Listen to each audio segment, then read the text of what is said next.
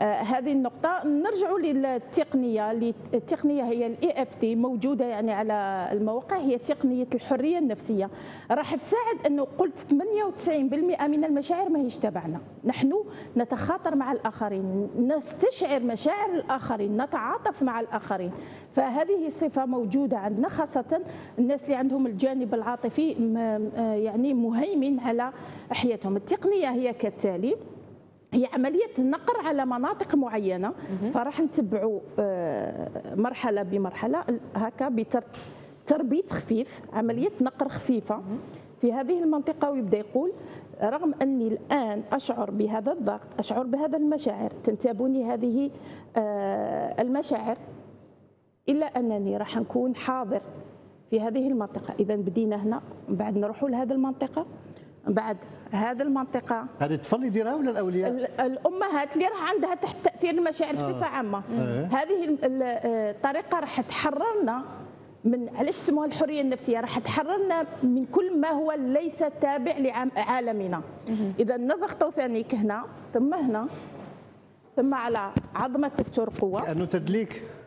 كأنه نقر خفيف أيه. لتدفق وكأنها تنظيف. وش الغاية تاعو وش وظيفته؟ تنظيف المشاعر أيه؟ اللي ما هيش تبعتنا. اذا هذه التقنية جا بها عالم قاري هي وكأنه آه، المشاعر اللي مش تابعتنا كأنها تغمنا ف آه، أو تاسرنا تلك المشاعر. فلاش سموها الحرية النفسية؟ وكأنني أبعد كل ما هو غير تابع لي ونعاود نحضر في عالمي. لأنه الإنسان اللي يكون تحت تأثير المشاعر الشاعر ماهوش حاضر هنا والآن. راهو لو تلاحظوا كلنا لما نكونوا تحت تأثير مشاعر قوية وكأنه العقل تاعك فيه ضغط فيه ظلام مشوش. مانيش حاضر فما يقدرش يحضر مع ورقة الامتحان ما يقدرش يركز مع الأولويات وما هو ضروري في تلك اللحظة. إذا نرجع قلنا بعد هذه المنطقة اللي هي منطقة الترقوة بعدها نقر خفيف هنا وبعد نقر خفيف حتى لهذه النقطة. اذا وش يقول فيها توكيدات؟ أني نعم أنا أعترف أني نحس بشيء غير طبيعي الآن. ومشاعر فيها ضغط انتنس وإلا أنني واثق من نفسي وراح أقدم كل ما يمكنني تقديمه في هذا الامتحان. وراح يعودها مرة واثنين هذا المر...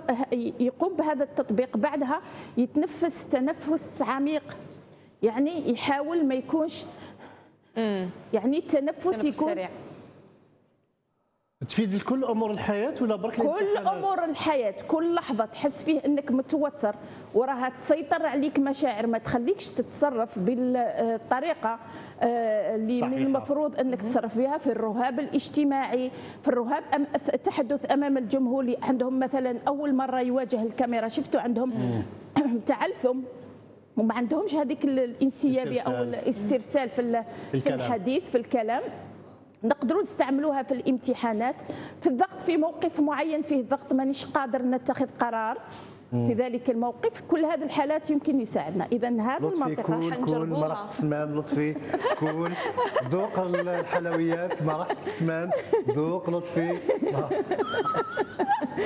أنت مش قالت توكيدات قلت توكيدات توكيد في السلبي أو يعمل توكيد في السلبي لا قدر في الحالة هذه يعني لو حسيت بالجوع نقول هل أنا الآن أوكي أعترف أني نحس عندي رغبة في الأكل. هل هذه الرغبة فعلا حقيقية؟ هل جسدي فعلا يحتاج إلى الأكل في هذه الحالة؟ هل لو أكليت هذا الأكل يعني راهو صحي يقدم دعم لجسدي. فكأني نكون ما هو الشيء عوض نكون تحت تأثير المشاعر والرغبات والاحتياجات. راح أنتقل إلى عالمي ونشوف شنو هو اللي راح يكون فيه نفع لي. فهذا التطبيق ممكن يساعد الأم مثلا تكون حضور بالطاقة والموقف والقرار الضروري اللي راح تكون فيه حتى تدعم ابنها. بدل ما تكون هي تتوتر وتزيد تنقل ذلك التوتر. نفس الشيء التلميذ راهو أمام ورقة الامتحان. مازال ما وزعولوش الورقة. يقدر آه، يساعد نفسه. مثلا اللي راهو يحرص داخل قاعة الامتحان يقدر ينقذ حياة يعني آه، طالب بدل ما يروح الامتحان تاعو هكاك يقدر يساعده بتقنية خفيفة وسريعة ومفعولها سريع كذلك. فهذه من التقنيات اللي تساعدنا. قلت أنه مهم جدا شرب الماء والتنفس. التنفس العميق لأنه لو العقل ما وصلوش كمية كافية من الأكسجين راح يبقى على مستوى الأكسجين راح يوزع على الأعضاء آه، الجسم بدل ما يوزع على القدرة على استرجاع المعلومة على استحضار يعني المعلومات اللي يحفظها وراجعها إجابات. على التركيز على التحليل. مثلا في مادة الرياضيات الفيزياء الأمور اللي تحتاج تركيز تحتاج طاقة. فهذه الطاقة منين نجيبوها نجيبوها من شرب الماء.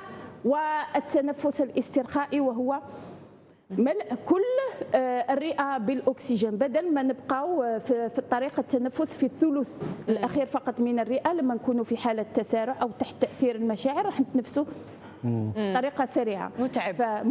فما فيش كمية كافية من الأكسجين وبالتالي ما فيش كمية كافية للتركيز لطاقة التركيز في الامتحان. اذا هذه يعني تقريبا بين ال ال الوصايا. لو نرجعوا لوصايا الأكل أنا نوصي إنه تكون فيه أكل آه، خفيف. ماهوش الأكل هذاك اللي ينزل إلى المعدة ويتطلب إنه الدماغ تاع الإنسان يركز كله مع الثقل تاع الأكل الموجود. اللي راهي طيبه بكبوكه وغير خبيها. آه، الدراري دوك يخرجوا يتغداو غير خبي لك الماكله الدسمه هذه نعم حاجة خفيفة سلطات يعني آه، بروتين مليح آه، يعني لو الطالب ياكل حاجة فيها كافيين دون ما يكثر يعني شوكولا سوداء ممكن يكون فيه تاي ممكن تكون فيه قهوة خفيفة منبهات يعني. كل هذا المنبهات تساعده بشرط أنه ينتبه أنه كثير من الأكل فيه المنبهات مثلا الكوكاكولا أو هذا المشروبات اللي فيها الكافيين ينتبه لها. ويمتنعوا أنا نوصي إنهم يمتنعوا عن أمور ما هيش صحية. يعني مجرد إنهم سمع أنه متعارف مثلا مشروبات الطاقة وكل هذيك لأنها لو الجسم مش مجربها ومش معتاد عليها ممكن ينتكس ويجيب نتائج عكسية في الامتحان.